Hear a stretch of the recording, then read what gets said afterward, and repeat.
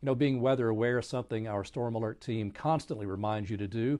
And tonight is one of those nights. Severe weather is in the forecast. Meteorologists from the National Weather Service have the same goal of making us all more weather aware. Channel 3's Allison Pryor joins us now with more on what they're doing to educate the public. Allison?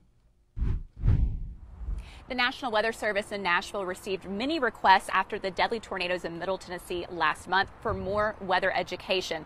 Now's a great time for it with so many people at home during the COVID 19 outbreak. They can't currently do classes in person, but their meteorologists have started an online Weather 101 program that's available for everybody across the United States. The classes are free and cover severe weather, flooding, winter weather, and more. And we've had hundreds of people uh, attend these virtually, which is amazing. So we know the interest is there. Classes generally last about an hour, and all you need is a mobile phone, tablet, or computer. Registration is online through the National Weather Service Nashville's website. Uh, you probably want to do it a little bit before class time so that way you can make sure all your equipment works because you do have to download the GoToMeeting software.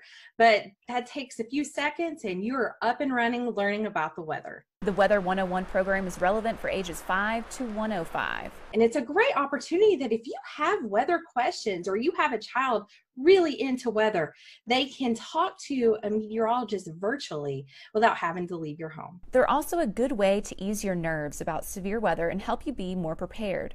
I got into weather because I was terrified of weather. And that's why I became a meteorologist. And so I know that that fear, I totally understand that. We're in the middle of our spring severe weather season, and one of the best classes you can take is about radar. You'll learn what meteorologists are seeing and what we are analyzing for severe thunderstorms and tornadoes. You know, you get radar on your phone just like us meteorologists get it on our computer systems. So that way you can, you know, interrogate storms, look at them.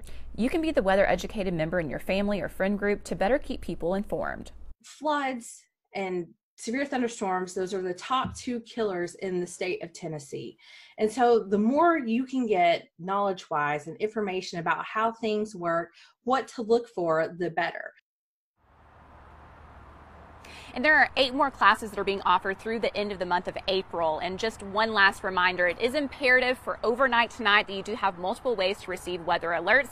If you plan on using your phone, make sure not to have the do not disturb uh, mode on because then you'll be able to get those crucial alerts. Reporting live from northern Chattanooga, Allison Pryor, Channel 3 Eyewitness News.